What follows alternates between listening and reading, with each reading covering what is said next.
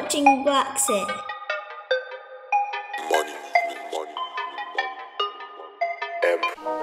BlaXit family, BlaXit family, BlaXit family. Welcome to the BlaXit channel. And if you've never been here before, BlaXit is all about your repatriation, relocation back to Africa. BlaXit family, this episode is all about us beautifying ourselves in an ancient African way. What am I talking about? Henna. Henna is something that has been used for absolutely centuries in Africa. And today, myself and culture and travel with Tay Tay, we went to go and get hennaed up. So, where does henna originally come from? Henna is actually a powder derived from crushing the leaves of the henna plant. The earliest use of this plant dates back to the pharaohs in Africa in ancient Kemet over some 9,000 years ago. A pharaoh of ancient Kemet civilization is said to have used henna to adorn her body and beautify herself using the henna plant.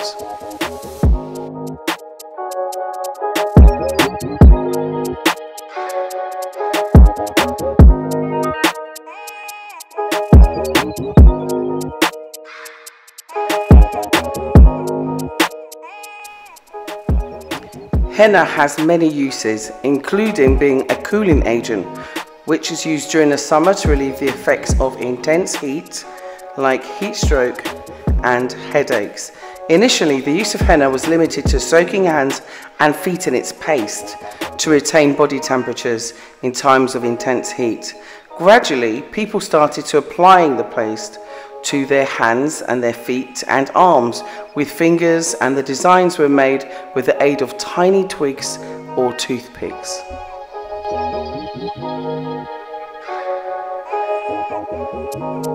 Henna treats various types of skin problems like ringworm, athlete's foot, and also is effective in treating cracked nails. A comparable number of women use it as a substitute for nail polish, which doesn't require any nail polish remover, and also as a hair dye. The bark of the henna plant is known to be effective in the treatment of jaundice and some diseases.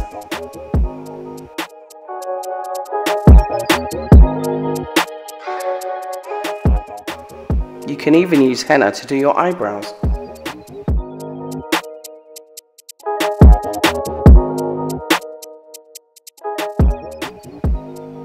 Even though there are high quality hair dyes available in the market, natural products are irreplaceable. Henna is free from all sorts of chemicals and it's best to dye your hair, especially if the colour suits you. It keeps your head cool, it kills head lice, and it gives a radiance that no chemical dye can. Also, a useful tip is while preparing the henna for your hair, you can add a spoonful of coffee or a cup of black tea to kill the reddish colour and deepen the maroon shade.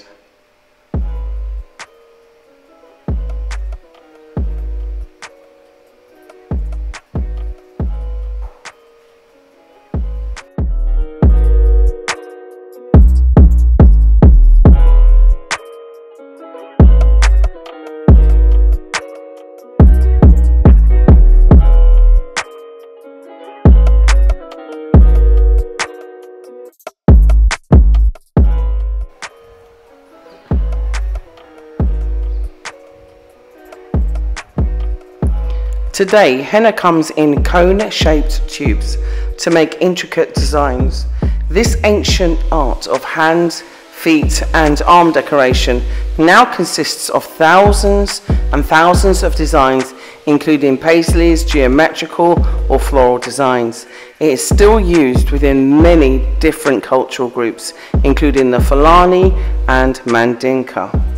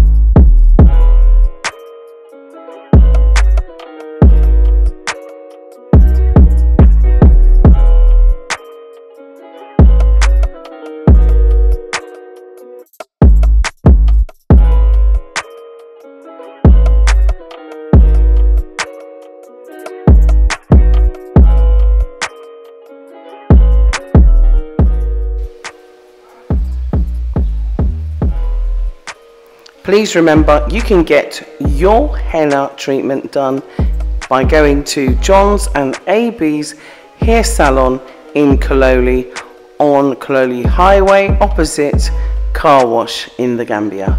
Thanks for watching BlaXit family. Please, please, please subscribe to our channel by pressing that bell sign so you can always get a notification when our programs are coming up and also give us a thumbs up smash that like button for us and soon comments will be returning below. Thanks BlaXit family. We love you. One nation one Africa. Thank you BlaXit family. Please keep watching. Remember follow your dreams. Emperor made this. Purchase your tracks today.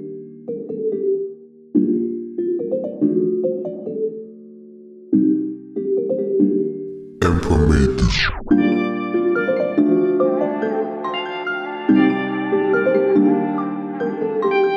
Purchase your tracks today.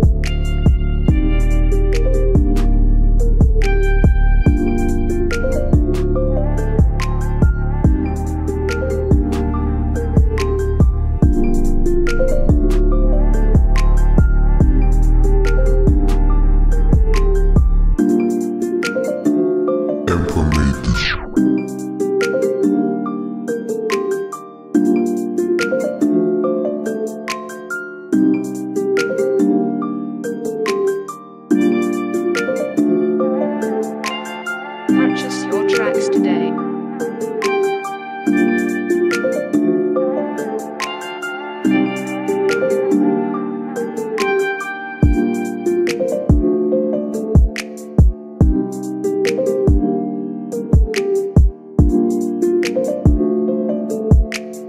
Purchase your tracks today.